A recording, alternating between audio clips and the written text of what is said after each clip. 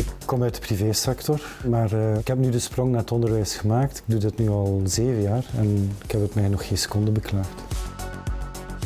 Ik ben Tim en ik ben leerkracht secundair onderwijs. De mensen denken ook altijd, het is gewoon lesgeven, maar de lessen moet je nog altijd voorbereiden, de rapporten opstellen, feedback opstellen. Je kunt niet gewoon copy-paste goed, goed, goed, goed. Dat bestaat niet meer. Ik ben Mike, net als Tim, leerkracht secundair onderwijs. In het secundair onderwijs kan je praktijk geven of theorie. Ik geef ze allebei. De vakken die ik op dit moment geef zijn Engels en PAV, project Algemene Vakken. De meeste mensen denken theorie, dan denken ze direct aan, aan de klassieke vakken zoals wiskunde. Maar je hebt dat ook in elektriciteit, heb je ook een redelijke theoretische kant. Daar leert je dan op papier en dan probeer je dat in de praktijk te verwezenlijken. Is het onderwijs wel veranderd? Wel, het is wel veranderd. De digitalisering speelt daar een grote rol in. Alles moet bij mij ook te maken zijn op een gsm. Ik heb niets meer op papier. Dat is vaak werken met QR-codes voor instructievideo's. Mijn leerlingen hebben enkel nog een schoolagendatje mee in een boekentas. Taken dienen ze in met, met een gsm of een Chromebook. De klassieke werkvorm voor de klas staan, dat wordt door sommige leerkrachten nog gehanteerd. Werk ik nog klassikaal? Ja, ik heb ook deel met het boek. Klassikaal vooraan staan, hier de gesprekken doen. Sommige dingen kan je niet anders of klassikaal aan bod brengen. Ik heb een groot deel digitalisering er ook bij gedaan, omdat ik zo ook meer tijd heb om dat individueel aspect erbij te steken. Geen één leerling is van hetzelfde niveau, werkt zeker niet aan hetzelfde tempo en je moet daar rekening mee houden.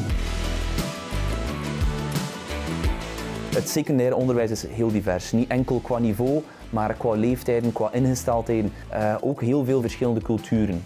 Zit je dicht bij het stad, in het landelijke. Dat zorgt ook voor een andere mentaliteit. De leerling mag zich hier niet ja, gepest voelen, uh, weggedrongen voelen. Je moet dus ook aandacht hebben voor iedereen en dat kunnen tonen. En het welbevinden van de leerling dat stroomt ook door naar het, naar het lesgebeuren zelf. Want de leerlingen zijn hier graag en ze doen ook graag mee. Samenwerken is zeer belangrijk.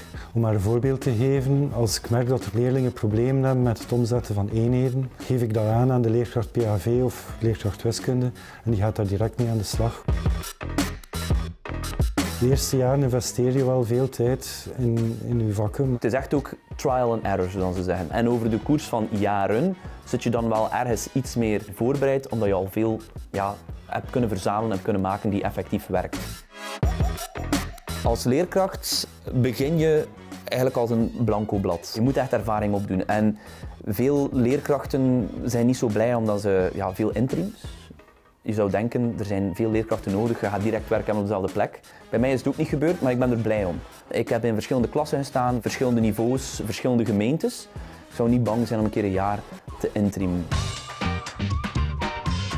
Wat maakt mijn dag als ik zie dat een van mijn leerlingen echt iets nieuws heeft geleerd? En je kijkt, hij is er door of heeft zelfs heel goede punten en dan denkt van, nice, weer eentje bij. Als ik merk dat een leerling maanden later een pomp demonteert en hij doet dat volgens de technieken dat ik hem maanden geleden had uitgelegd, dat maakt mij blij.